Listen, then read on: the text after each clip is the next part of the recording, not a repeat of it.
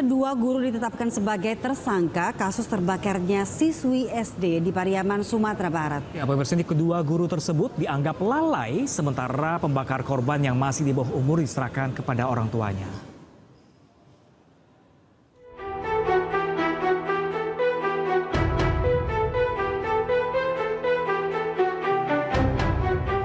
Dua guru Adelia kini telah ditetapkan polisi sebagai tersangka.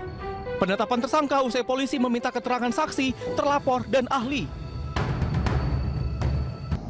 di mana ditetapkan dua orang tersangka yaitu eh, oknum oknum dua orang guru yang satu yaitu eh, PHL guru olahraga yang kedua yaitu eh, wali kelas dari si korban sendiri di mana untuk eh, tersangka ini yang oknum diri itu dijerat dengan pasal kelalaian.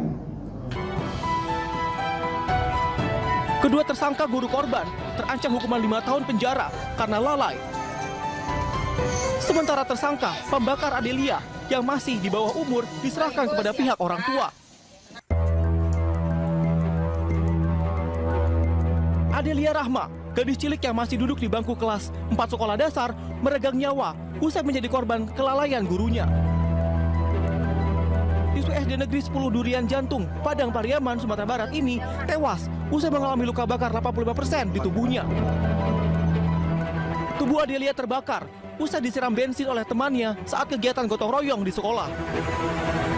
Dari Pariaman, Sumatera Barat, Eka Gus Priyadi, iNews melaporkan.